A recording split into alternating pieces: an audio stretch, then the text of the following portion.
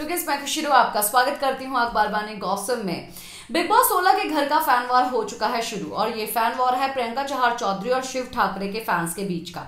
चलिए आप लोगों को बताते हैं कि अभी शिव ठाकरे के फैंस ने ऐसा क्या किया है प्रियंका और अंकित के लिए, जो कि शिव ठाकरे हर रोज जो है घर में करते हुए नज़र आते हैं। और यही फ़ैन वॉर जो है वो सोशल मीडिया पर देखने के लिए मिल रहा है। कुछ फ़ोटोज़ जो है वो एडिट की गई है। उन फ़ोटोज़ को आप लोगों ने अगर थंबनेल में देखा है तो आप लोगों को कुछ चीज़ें समझ में आ गई होगी। तो चलिए मैं आप लोगों को बताती हूँ इन फ़ोटो से जुड़ी हुई लेटेस्ट अपडेट। चैनल को ज़रूर सब्सक्राइब कीजिए बेल आइकन को दबाइए, इस वीडियो को लाइक कीजिए शेयर कीजिए। आप लोगों को पता है शायद पुराने मूवीज़ मूवीज़ में या आप लोगों ने अभी हकीकत में भी ये चीज़ देखी होगी कि भाई पेड़ के नीचे एक पंडित बैठते हैं, एक छोटी सी अटैची लेके, जिसमें जो कार्ड्स होते हैं और वहाँ पर तोता आता है और तोता जो है भविष्यवाणियाँ बताता है।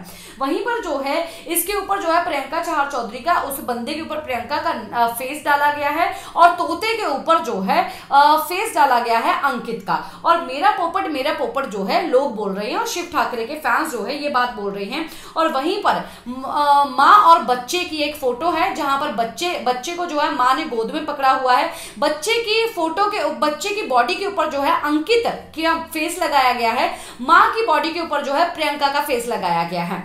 जहाँ पर ये सोशल मीडिया पर जो फ़ैन वॉर चल रही है, शिव ठाकरे के फैंस जो है ये सब चीज़ें कर रही हैं। और शिव ठाकरे के फैंस जो है, वो फ़ैन वॉर में उतर चुके हैं। और जिस तरीके से शिव ठाकरे, प्रियंका और अंकित के रिलेशन का मज़ाक उड़ाते हैं, पोपट पोपट बोलते हैं और चमचा चमचा बोलते हैं। वही सब चीज़ें जो है शिव ठाकरे के फैंस जो है, इन फ़ोटोज़ के ज़रिए करना उन्होंने शुरू कर दिया है। अभी आप बताइए, अगर आप प्रियंका के फैंस हैं तो बताइए ज़रूर कि आप लोग इनको कैसे मुँह तोड़ जवाब देना चाहेंगे अगर आप शिव ठाकरे के फैंस हैं तो बताइए ज़रूर आप जस्टिफाई कैसे करेंगे। इसी के साथ मैं लेती हूँ इजाज़त, नमस्कार।